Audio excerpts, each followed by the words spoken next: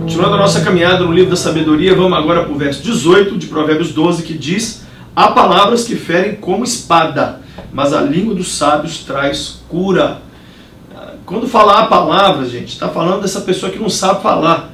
Ela, em nome da verdade, ao invés de curar, fere, machuca.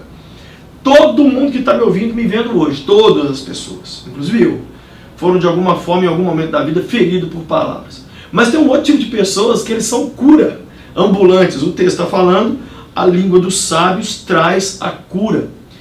Tudo bem você ser uma pessoa que ouviu que não gostou e que anda ferido pela vida, mas isso não te impede de ser alguém que leva a cura para alguém. Porque quando você falar a cura para alguém, você recebe a sua própria cura.